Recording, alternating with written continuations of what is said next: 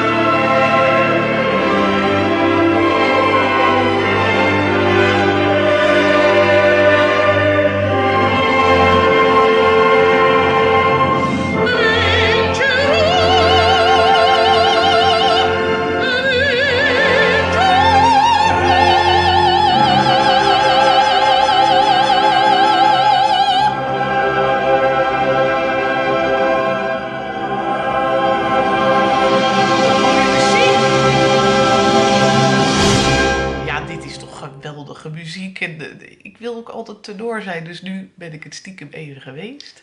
Uh, een hele fijne dag vandaag en tot de volgende.